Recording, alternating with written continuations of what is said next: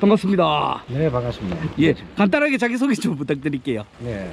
현재는 예. 뭐 그냥 일단 조사입니다. 예. 시인이고요. 예. 부산에 살고 있는 최은규라고 합니다. 네. 지금 준비해 오신 채비가 감성돔 공략용 채비 맞죠? 네 맞습니다. 예, 우리 재웅규 씨가 사용한 채비가 일단 결론부터 말씀드리면 상반할 채비를 사용을 하고 있거든요.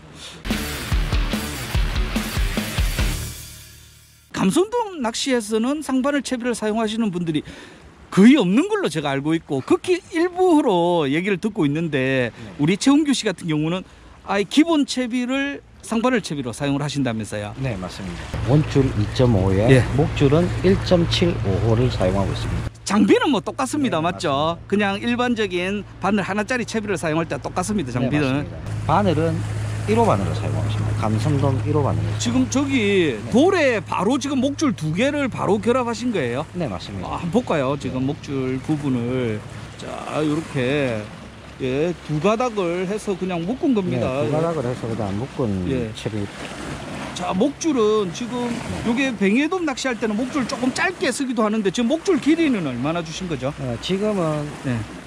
한 3, 3m 정도가 좀 넘겠네요. 두 바늘 사이 단차는 어떻게 주셨어요? 두 바늘 사이의 단차는 한 70cm 정도. 아, 70cm 예, 정도. 좋습니다. 요 채비를 사용하게 된 특별한 이유가 있나요? 어, 제주도에 예, 낚시를 갔다가 예, 뱅에돔 낚시하는 쌍바늘을 보고 예, 감성돔도 저렇게 한번 해봐야 되겠다 싶어서 예, 그때부터 감성돔 쌍바늘을 예. 크릴로 예, 처음에 사용했는데 예. 크릴로 사용하다 보니까 봉돌까지 달다 보니까 어, 너무 많은 꼬임과 힘든 게 있더라고요. 예, 그래서 옥수수라든지 예, 개미끼라든지 예, 그런 걸 여러 가지를 써보다가 예. 지금은 옥수수와 경단 채비로 아, 사용하고 있습니다. 상바늘 채비를 사용하는 가장 큰 이유가 뭡니까? 그러면요? 상바늘 채비를 가장 예. 하게 된 게첫 예, 번째는 예, 미끼가 한 개밖에 없을 때게 예. 내 미끼가 정말 달려가 있을 때게 의심이 날 때도 있죠. 음. 처음엔 그걸로 시작을 했습니다. 그러면 미끼를 한 개 달린 일반 채비보다는 이 미끼가 감성돔에게 갈 확률을 더 높일 수 높이기. 있다. 네.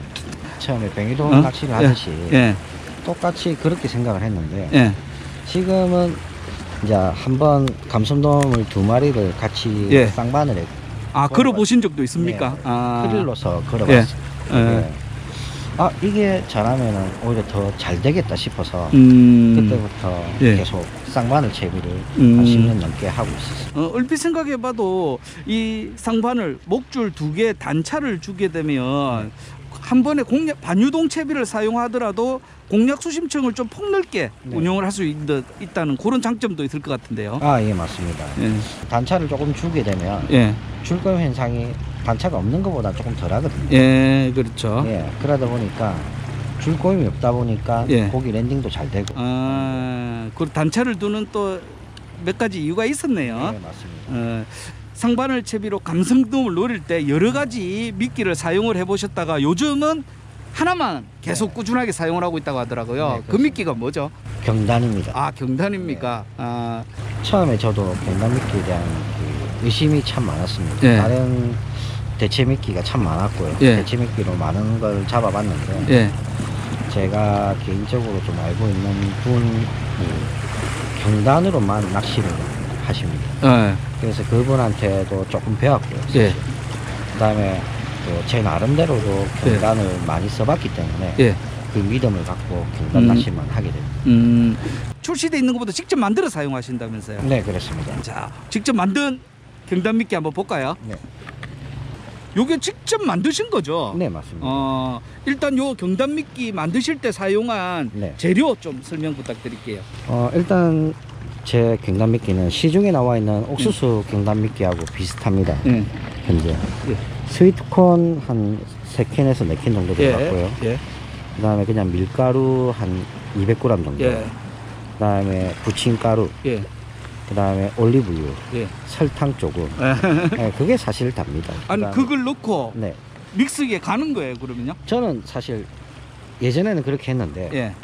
굳이 그렇게 안 해도 예. 똑같다는 걸 알고 나서는 예. 그냥 여기 이렇게 보시면 아시겠지만 스위트콘의 예.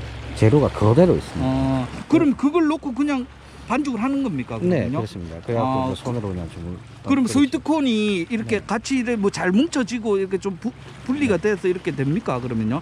처음에는 그게 음. 안 될 거라고 생각을 했는데 예. 막상 해보니까 예. 오히려 이, 이런 식으로 남아 어, 있, 아. 있 으니까 지금 앞서 네. 설명해 주신 그 재료들을 섞어 만든 네. 지금 자작 경단 미, 경단이고 미끼고요. 얼마나 됩니까? 양이 그렇게 섞으면요. 어, 낚시 횟수에 따라서 틀리겠지만 예. 경단 미끼만 정확하게 예. 만 다른 미끼를 안 예. 쓰고 쓴다면 예. 어, 한 20회 정도. 아, 20회 사용할 분량 그 정도 양이 되네요. 그거는 그럼 바로 냉동고에 보관을 해서 네. 그때 그때 필요한 양만큼만 들고 나오는 거네요. 네, 그렇습니다. 어, 자, 요 미끼 이제 바늘에 깨는 네. 모습까지 한번 카메라에 담아 볼게요. 경단이 지금 현재 시중에 나와 있는 것과 예, 사실 비슷합니다. 어떤 걸 더 넣고 안 예. 넣고 하는 것 차이밖에 없는데 예, 어, 지금 제가 만든 자작 경단은 예, 물 속에 들어가면 예. 빳빳하게 굳습니다. 아, 일단은 딱딱하게. 예, 네.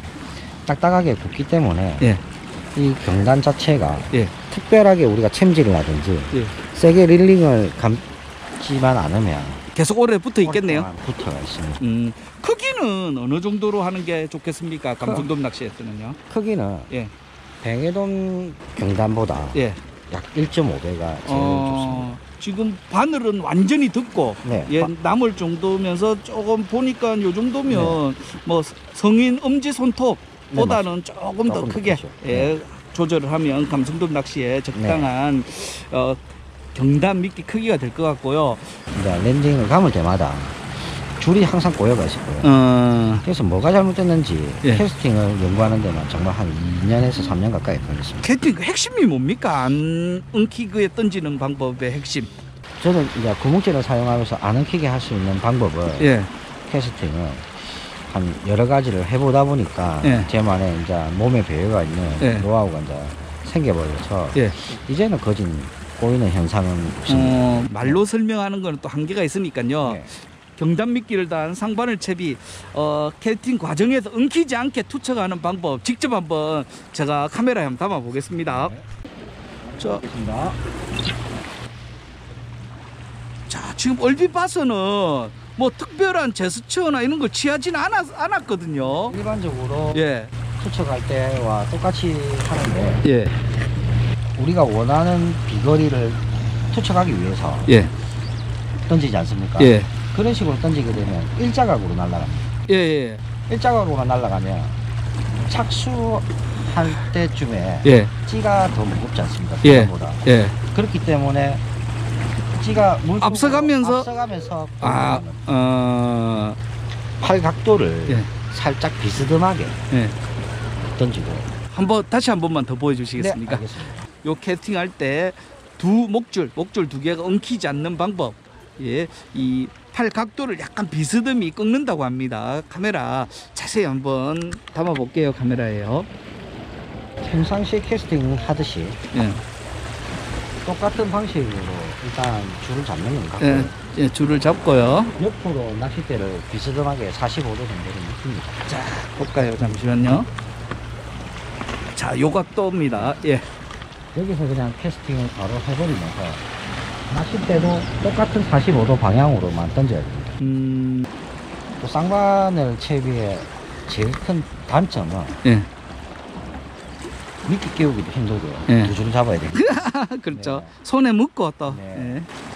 장난 낚시를 하다 보니까 예, 예. 뭐 몸이나 옷이나 손이나 예. 좀 지저분해지는 건 좀. 아, 경단 미끼 두 개가 상당히 무게가 나갑니다. 네. 그렇기 때문에 그 무게감이 어신지의 부력을 상당 주, 부분 또 잡아줄 것 같거든요. 네. 저 상태에서 경단 미끼가 바늘에 떨어져 나가버리면 어신지도 조금 떠오르겠네요. 네, 그렇습니다. 아, 그럼 미끼가 달려 있는지 네, 아니면 떨어져 나갔는지도 어신지 움직임을 보면 알 수가 있겠네요. 네, 그렇습니다. 그거는 이제 조금 경단 낚시를 오래 하면 예, 그거는 이제 캐치 가능한 것 같고요. 예, 이제 이 경단 낚시의 이런 뭐 이런 어신지 같은 거라든지 제대로 볼 때에는 예, 보통 요즘에 이제 찌마다 다 부력이 틀리다 보니까 예. 그 부력으로 해서 경단으로 맞추는 게 제일 좋은 방법 중에 하나입니다. 사실. 음, 내가 예민하게 하고 싶으면 경단을 좀 더 크게 달아도 예. 상관이 없고요. 예. 경단 미끼를 사용한 상바늘 채비를 사용할 때 네. 고챔질 타이밍 관련해서도 좀 설명 좀 부탁드릴게요. 경단낚시가 예. 다른 대체 미끼에 비해서 굉장히 어려운 챔질 타이밍을 가지고 있습니다. 음, 어, 첫 번째는 예, 입질은 어떤 고기든지 경단 낚시의 입질은 거진 일반 클린이나 비슷하게 옵니다. 예, 근데 챔질을 하게 되면 왜 빈바늘만 올려놓았냐면 예, 바늘을 감싸고 있는 경단이 예, 챔질과 동시에 입에서만 떨어져 나가지 예. 경단 바늘, 바늘이 예. 고기 입속에 잘 안 걸립니다. 음, 그냥 우리가 사탕을 먹다가 예. 그 사탕만 빠지고 막대만 아, 빠져나오듯이 아, 그런 현상이 일어나거든요. 그래서 어. 경단 낚시는 예, 어, 지금 시중에 나와 있는 경단도 마찬가지지만 예, 아주 빠른 챔질 타이밍을 가지든지 예, 아니면 원줄이나 음, 낚시대를 가져가는 그런 입질을 받기 위해서는 예. 기다려야 됩니다. 어, 그리고 감성돔이나 참돔 같은 경우는 예신이 꼭 나타난다면서요, 거의. 예.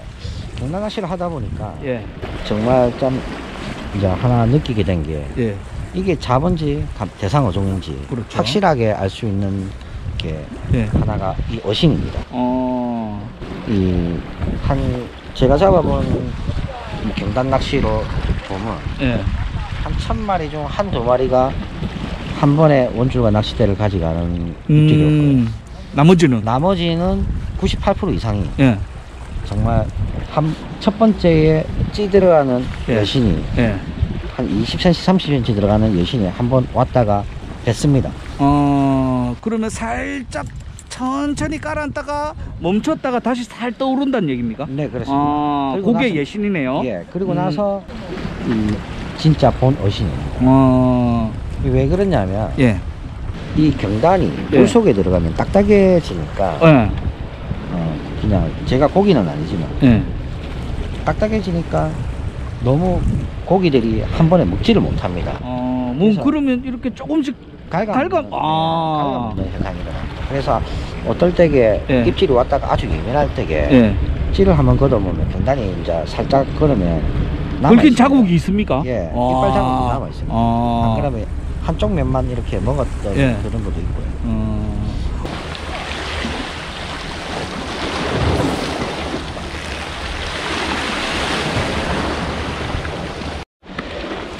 자,